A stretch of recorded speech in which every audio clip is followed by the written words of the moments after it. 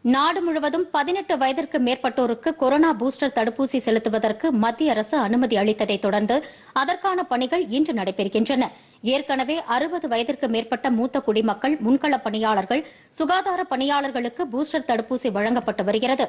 இதில் இரண்டு தவணை தடுப்பூசிகள் செலுத்திக் கொண்டவர்கள் அதே தடுப்பூசி மருந்தை பூஸ்டர் தடுப்பூசியாக செலுத்திக் கொள்ள வேண்டும் என மத்திய சுகாதார அமைச்சகம் நேற்று முன்தினம் அறிவித்தது. மேலும் இன்று முதல் பதினெட்டு வயதான அனைவரும் பூஸ்டர் தடுப்பூசி செலுத்திக் கொள்ள அனுமதிக்கப்படுவதாகவும் தெரிவித்திருந்தது. இந்த நிலையில் இன்று அந்த பணிகள் தொடங்கியுள்ளன.